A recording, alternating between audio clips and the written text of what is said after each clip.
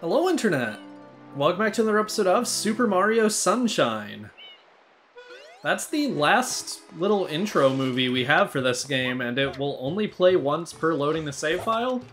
So I just wanted to show it before we actually get into what we're doing today. In the last episode, we sort of finished up, well, we did finish up like the main story missions for Pianta Village, before Shadow Mario somehow managed to make scalding hot rainwater fall on Delfino Plaza, and so we followed him into Corona Mountain. We're not going to be following him all the way through Corona Mountain yet, but we did collect all the blue coins in there, so at least we don't have to worry about that later. This time, we're going to actually be finishing up Pianta Village. Let's start. So, you may have realized that there is only one secret level here, and we did not get a ninth shine uh, before blue coins and 100 coins. That is because the ninth shine sprite can only be obtained in episode 8. We're not going to be exploring or talking to people here because I think it's pretty obvious that there is an event going on here, and uh, we're going to be coming back to do episode 8 of every level all at once later. And I say later, but it's honestly pretty soon now. We're coming very close to the end of this LP, and that feels surreal to say. Uh, as of recording this, I think, according to my notes at least, we're ending on episode, what, 36? So, yeah, we're getting very close. In order to get the Shine Sprite, we're going to want to climb these uh, little platforms on this tree. I don't know how... but I don't think these grow on trees generally, but... I guess it depends on the... Like, these look like they're, like, mushrooms, I guess, so fungi can grow on trees. This rocket nozzle box will only appear here in episode 8, however, it is actually possible to climb to the top of this tree in other episodes using uh, very precise wall jumps. I'm awful at this. I have not actually climbed this tree since the last time I, like, let's played this game, so... We'll figure it out. Uh... Just... No, I need to get higher. Uh... Let's see. Maybe I can rock it onto a leaf? No, that's too high up. Okay. Well, let's figure this out then. Okay, I think I see the intended way is just to use that swing to get to that cloud. Uh, but this was worth a try. If you find yourself needing to refill water in uh, this level, you have to go all the way to the hot spring. This is the only water source in all of Pianta Village right now. Uh, and there is a red coin in there, so... I will be careful not to collect that, because we aren't doing that right now. Alright. Let's do this correctly, hopefully. Using this swing, just push yourself up to get onto this cloud. And there's another cloud above us that we need to rocket nozzle for. And once we're up here, we can just rocket onto this leaf. I was making that a lot more complicated than I had to. Looks like we do need to grab one red coin, probably. I'll try to avoid it. Once you're at the very top of this tree on this platform, even if you get up here in other levels, this will not work. Only in episode 8. Spray the sun. Until this low-res PNG of a Shine Sprite will just appear. This... Okay, so this isn't as stupid as the one in Gelato Beach, because I'll never stop talking about how stupid that one is. But there's one NPC in all of Pianta Village who will hint at this in their dialogue, and otherwise you had to read Nintendo Power. I feel like that's enough said. Also, nice one in the cutscene. It is the funniest number.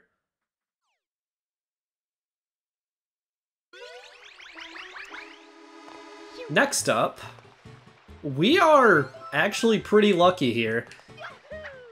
I will go ahead and say Pianta Village has not only the easiest 100 coin mission in the game, tied with Noki Bay, but also the easiest blue coins in the game, so yeah. This is going to be pretty easy. The best episode for this is episode 5.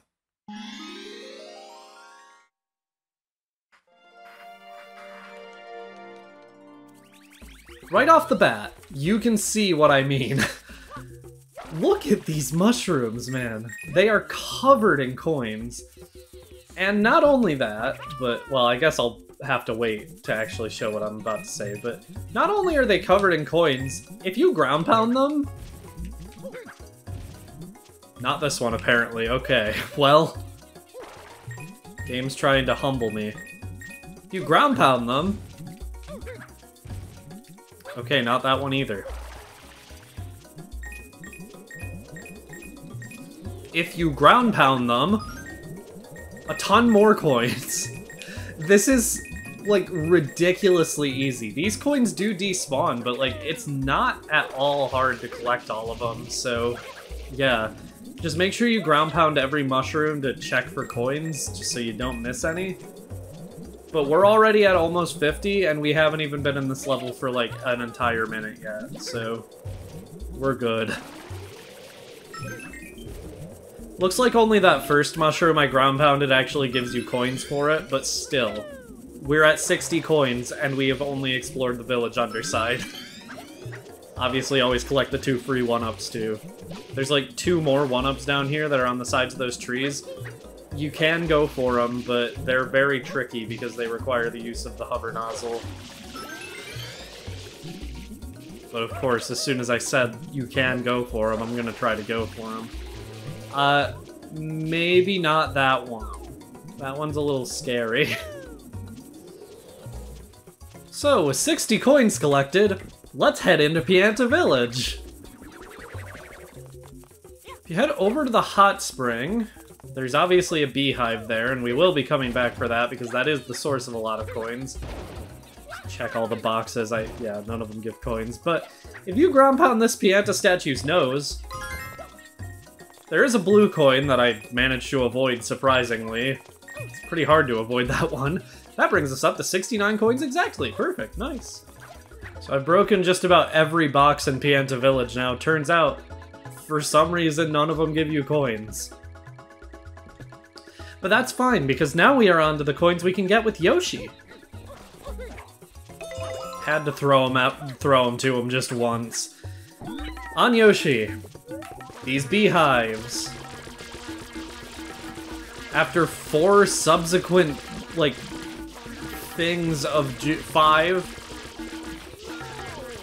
Okay, maybe I need to get closer. Maybe. yeah, okay. So, all of these bees, except for the last one you eat, will give you coins. The last one will give you a blue coin. Uh, so I'm being careful to that. Uh, sort of just let them hit Yoshi. One of them just got caught on Yoshi. Yoshi has a force field. Good for him. Okay, let's just eat that one. Uh, Yoshi just has weird glitches related to getting off of him at, like, weird times, and yeah. There's one called Fruit Storage where you can just give Yoshi a fruit permanently, pretty much. Uh, we killed all but one bee, and that bee used its magic powers to create a new beehive instantly. If only it was that simple in the real world. Bees would have it a lot easier. I see a crate I missed. Please have a coin. It would have been so funny if only one had one. Last but not least, there's these bees over under this tree uh, that you should be careful of because they are over a cliff. There we go, 91 coins, and obviously spray down the beehive. Get them away from the cliff. And then just eat, eat, eat, eat, eat. Okay. There we go. by far the easiest 100 coin mission in the game.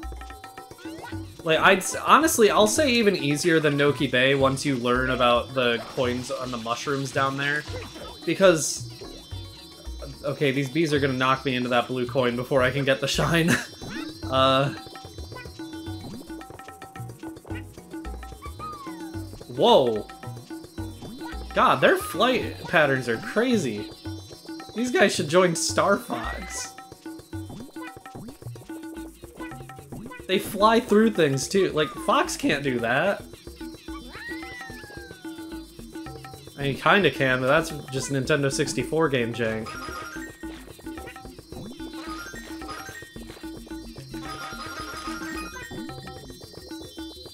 Damn it, collected 101. Yoshi, no! Yoshi abandoned me to the last bee! my god. This has been a war to collect the shine. Collecting the shine, ironically, was harder than making it appear.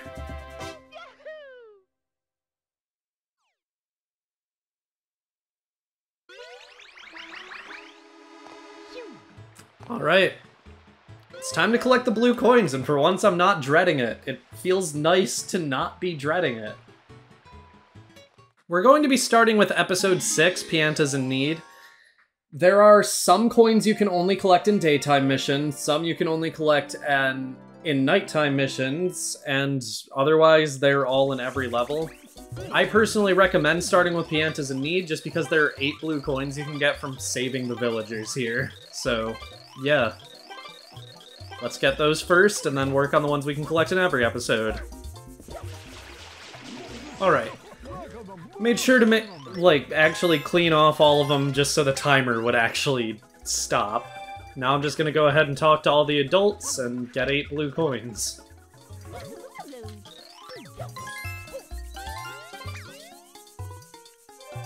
That's the second one.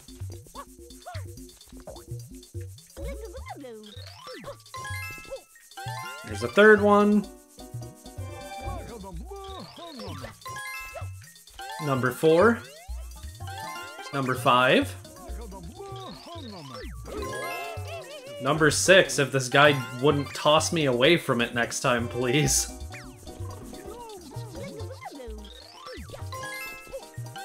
Number seven.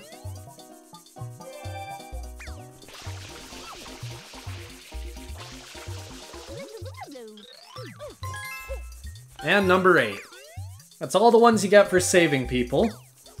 So for the next one, we're going to go all the way back to the starting point. Not to collect the Shine Sprite, but because there is a blue coin over here. If you spray this M behind where you start in this level, blue coin. In the center of the village underside, there's this M floating slightly below the ceiling. I think they probably got the Y coordinates a little wrong on this one, but if you spray it, you still get a blue coin. so I died trying to get out of the village underside, so I'm just gonna collect the rest of the daytime and all episode shines in Chain Chomp's bath. Because the Chain Chomp doesn't actually pose an issue unless you free it. There's this structure in the village that has M graffiti on it. Obviously spraying it will get you a blue coin. There's this wall near the hot spring. Spraying it gets you a blue coin. You'll all remember this massive tree on the left side of the village from the entrance. We used it to cheese this stage pretty heavily. And over there on this leaf, there's a blue coin. I don't like how slow Mario's move- yep, I knew he was gonna slide. At least I could tell. Blue coin. On top of that, on the left side of the village, there's this blue, well, tall grass with a blue coin in it. The grass isn't blue. That's the music that plays in the slide levels in 64. In this flowing stream, well, it's flowing at night at least, there's a blue coin under this bridge, and another blue coin at the very end of the stream. So near the hot spring, there's this triangle graffiti. And I think you know what that means. It's time to hope I can get to it on time. Because I don't remember if this one is difficult or not.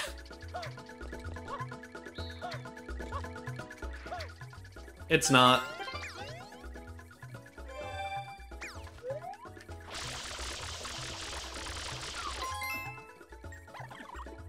And obviously there's one for the reverse as well. I might have missed it because of that bonk. Nope. that one is very generous. At the very top of the tree we had to race El Piantissimo on. Don't remind me of my performance there. There's a blue coin. At the very top. If only the flag were at the very top, I would have won. Remember this hole in the side of this tree that I mentioned earlier? If you spray it... From not here, apparently. Hello? There we go. Have to spray it weirdly precisely, I guess, but there is a blue coin in there. This is the only one that's only in daytime episodes. If you spray this signpost, blue coin. From here, the rest of them require either night episodes or specific episodes, so... Exit area time. There are some that you can only collect in episode 3, so we're going to be using episode 3 to collect all of the nighttime shine sprites. For your own reference, if you're not playing along exactly, or you're just watching the Let's Play and you might play the game on your own in the future, please God, just collect these red or blue coins at the same time you're actually doing episode 3. Save yourself the pain because I did just die again. You know what they say. Fourth time, well technically fifth if you count the failed attempt when I was actually trying to show this way. Fifth time's the charm. Once you get FLUDD, just spray this M directly beneath him to get a blue coin. Down below here, we spray this goop away. Somewhere in the immediate area. There's just a giant ass M underneath this graffiti, but it gets sprayed away so quickly that we didn't really even get to see it. But just know that it's huge and it's under the graffiti in episode 3. Last one that's exclusive to episode 3 is for putting out the fire on this guy's back, so... Hopefully he learns from the guy in Delfino Plaza and doesn't set himself on fire again. There we go. I think I almost found another clip, but that one would have been even less useful if it worked. Uh, so apparently this is only in nighttime episodes, but ground pounding this Pianta statue's nose, blue coin. I don't know if the coins are also nighttime only, but I think they are. Last one that's episode 8 exclusive. If you stand on this golden mushroom and spray the moon, blue coin. Shine for the sun, blue coin for the moon. I'd reverse it personally. I think the moon is better. Obviously, you get one for eating all the bees from the beehive near the entrance if I can manage it, but they keep knocking me off and then rebuilding their beehive. There we go. Blue coin. There's another one for eating all the bees near the hot spring. If you get on this mushroom near the fruit tree, there's a bunch of blue blue butterflies, rather. Wish it was a bunch of blue coins, that would be way easier.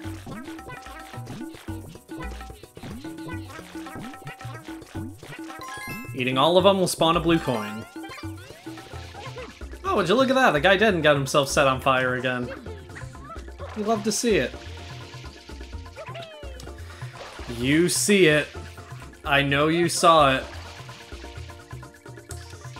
I wouldn't have it any other way the final blue coin in an actual world in this game is for spraying a bluebird.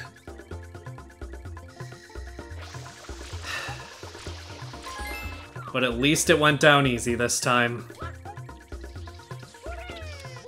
This is not the end of the rivalry. But we're close to winning this war. While 90 shines and 30 blue coins is a very satisfying thing to look at, we're going to go turn in those blue coins now, obviously. Hello, Tanuki guys. I almost said Tanuki Tom, but you don't have a name. That's a good name, though. You don't say. Welcome, welcome. I suppose you're here for that. Mm, yes, very good. That means I will require 10 blue coins from you. I can exchange those for shine sprites. I'll give you three, yes? Would you like to? I definitely would. Really? You truly mean it, yes? No refunds? Yes.